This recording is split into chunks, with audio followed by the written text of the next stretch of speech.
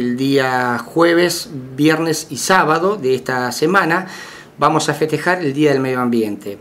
Eh, como todos saben, el 5 de junio es el Día del Medio Ambiente, pero bueno, nosotros nos adelantamos una semana este, porque coordina justo con el aniversario de Cafitos Reciclados, que se cumple el primer año de que empezamos con este nuevo proyecto.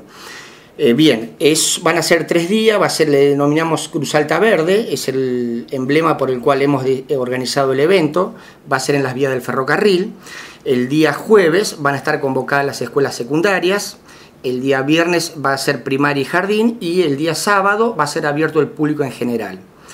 La temática es la siguiente, el primer día, el día jueves y, también por consiguiente el viernes, vamos a hacer la recepción de las instituciones educativas, se le va a brindar una conferencia sobre reciclado y eh, el cambio climático, en el cual se van a pasar videos, va a haber charlas informativas y va a haber un intercambio en el cual a través de un almacén eh, o supermercado, se van a convocar a grupos de chicos para que vayan interactuando con alimentos y diferentes materiales que nosotros consumimos en la vida diaria, para ver cómo se desenvuelven y cuál va a ser el destino final, que hasta el momento ellos le dan a eso.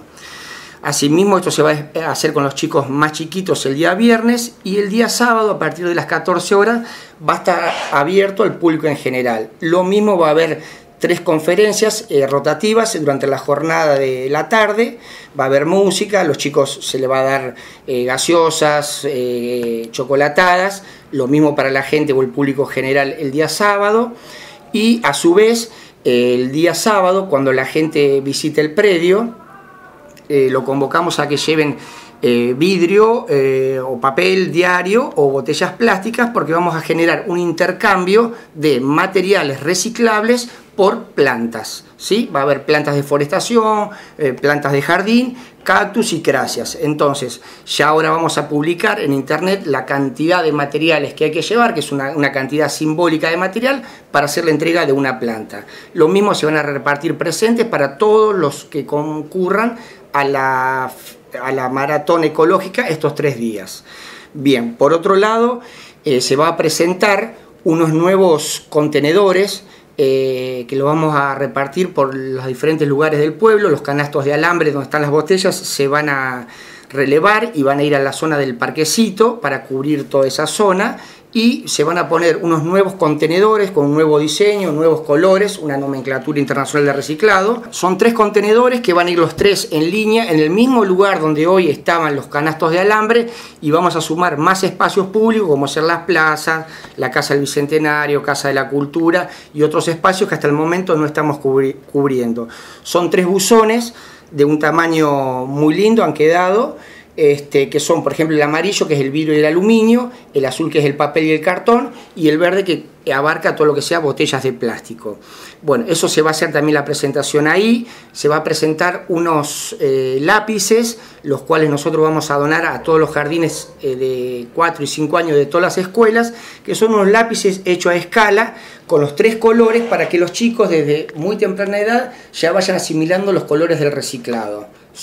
Como así también vamos a enseñar a cómo hacer compostaje orgánico en la casa, vamos a presentar una compostera y a enseñar a cómo se fabrica una compostera y por consiguiente cómo se fabrica el compost, para que en cada domicilio el que quiera hacerlo, los desechos orgánicos, lo pueda transformar en compostaje. En la primera etapa, cuando decidimos poner los canastos de alambre en las instituciones, bueno, fue un poco prueba o error, porque realmente en Cruz Alta nadie había tomado una acción medioambiental, más allá que después nosotros las botellas las reciclemos, eh, hagamos un sistema de molido, lavado, para después poder entregarlo.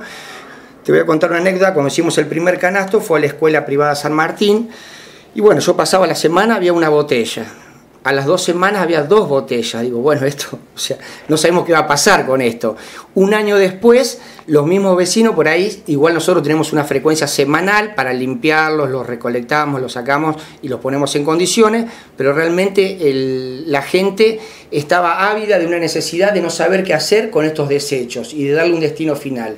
Por suerte en Cafito, bueno, ya lo hemos encontrado y más allá de la botella estamos trabajando con 25 materiales reciclables. ¿Sí? La, botella fue el, el, puntapié inicial o el disparador de esta acción medioambiental y hoy tenemos un portfolio de más de 25 artículos que estamos reciclando. Eh, Juan Pablo, aproximadamente, no, te pido el número específico, ¿cuánto eh, se recolecta eh, aquí en la localidad de Cruz Alta en los contenedores que, tienen aquí?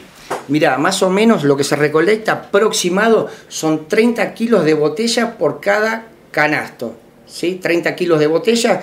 Cada kilo de botella está compuesto por 80 botellas está bien, depende del tamaño del envase, pero en un promedio son 80 botellas para generar un kilo. Y aproximadamente los días sábados que nosotros tomamos la acción de vaciar los canastos, estamos sacando unos 30 kilos por cada canasto.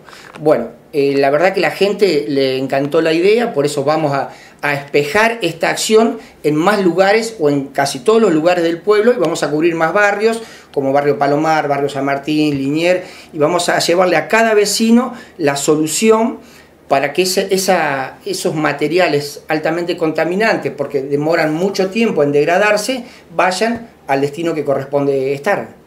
Eh, Juan Pablo, eh, también aprovecho y te pregunto eh, justamente eso. luego de la, de la recolección, ¿cuál es el proceso que se realiza y dónde va y en qué generalmente lo podemos ver que se utiliza, ¿no? Correcto. Mira, el día sábado, igual para los chicos también de la escuela, pero el día sábado que va a ser abierto al público en general, vamos a contar cómo es el ciclo o la cadena desde que se saca una botella desde el canasto hasta que llega al destino final.